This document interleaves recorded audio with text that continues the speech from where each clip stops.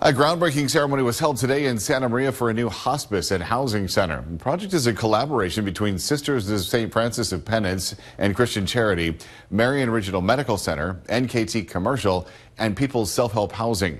The ceremony commences a series of building and remodeling projects that will eventually become the first dedicated hospice center in the community.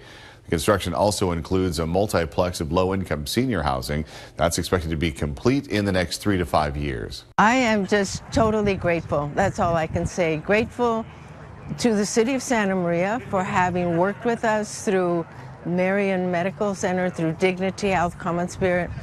I just feel so grateful. I feel a moment of great joy and great hope.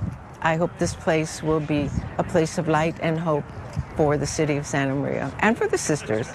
The land the complex will be built on was donated to the Sisters of St. Francis of Penance and Christian Charity all the way back in 1940.